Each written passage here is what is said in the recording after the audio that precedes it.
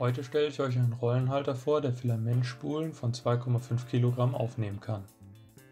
Diesen Rollenhalter habe ich selbst in Rhino modelliert, da ich bis jetzt keinen für 2,5 kg Spulen mit einem Durchmesser von 30 cm gefunden habe, die man auf einem Drucker mit einem maximalen Bauvolumen von 20 x 20 cm drucken kann.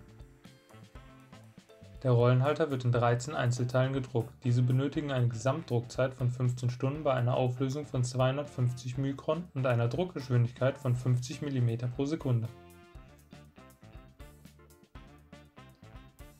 Nach dem Druck müssen die Rahmenelemente zu zwei Rahmen verklebt werden. Hierzu verwende ich Sekundenkleber mit Aktivator, um eine genaue Positionierung der Elemente zu erreichen.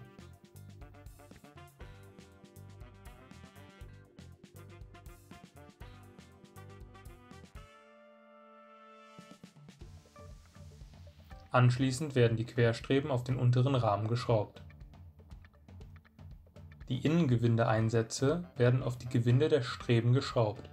Dann wird der Rahmen aufgesteckt und anschließend die Drehgriffe mit Sekundenkleber mit den Einsätzen verklebt. So können die Gewinde nicht mehr aus dem Rahmen fallen und lassen sich dennoch gut drehen.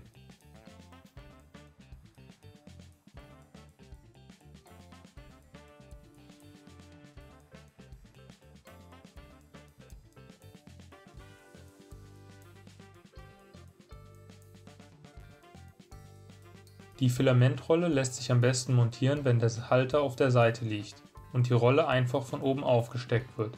Anschließend kann der obere Rahmen im Liegen verschraubt werden. Danach können die unteren Streben in Position gedreht werden. Bei den kleinen Streben dient die mittlere Öffnung als Filamentführung, durch die das Filament geführt werden kann.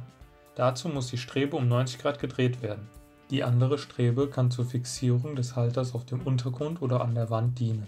Dazu können zwei Schrauben durch die beiden seitlichen Öffnungen geführt werden